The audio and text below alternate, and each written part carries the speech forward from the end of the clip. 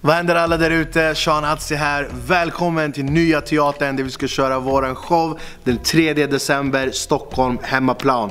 Det heter Playhouse Teatern på Drottninggatan 71A. Jag hoppas att vi syns, jag är så taggad. Ny show, ny Sean the Man, ny teater. Drottninggatan 71A, Playhouse Teatern. Kärlek, respekt.